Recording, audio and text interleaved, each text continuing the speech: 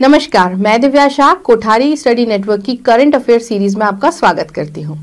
National खबरों में, हाल ही में जल शक्ति मंत्रालय ने आवास और शहरी मामलों के मंत्रालय के साथ मिलकर river cities alliance, RCA, launch किया है। ये भारत में नदियों के किनारे बसे शहरों के सतत प्रबंधन को लेकर भारत में एक समर्पित विचार मंच है।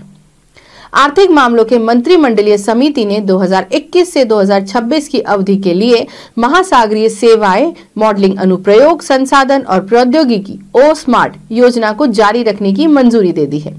हाल ही में राष्ट्रीय परिवार स्वस्थ सर्वेक्षण, एन एफ़ 2019-2021 के नवीनतम आंकड़े जारी किए गए हैं।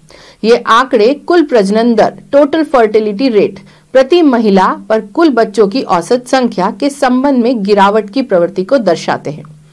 भारत में राष्ट्रीय अंगदान दिवस पिछले 10 वर्षों से हर साल 27 नवंबर को मनाया जाता है।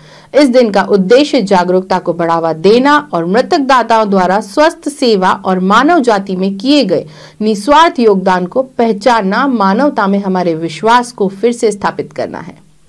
2021 में बारवा राष्ट्रीय अंगदान दिवस है। यह स्वास्थ्य और परिवार कल्याण मंत्रालय के तहत राष्ट्रीय अंग और उत्तक प्रत्यारोपण संगठन एन द्वारा आयोजित किया जाता है। इंटरनेशनल खबरों में हाल ही में US federal bureau of investigation, FBI, ने कहा है कि हवाना सिंड्रोम के मुद्दे से निपटना सर्वोच्च प्राथमिकता है तथा यह इसके कारण की जाँच करने के साथ साथ कर्मचारियों को किस प्रकार इससे सुरक्षा प्रदान की जाए, इस बात का निरीक्षण करेगा।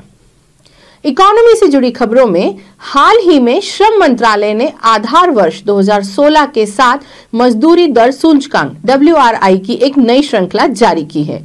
श्रम ब्यूरो द्वारा मजदूरी दर सूचकांक का संकलन और रखरखाव किया जा रहा है। इसी के साथ हमारे आज के करंट अफेयर्स यहीं समाप्त होते हैं। धन्यवाद।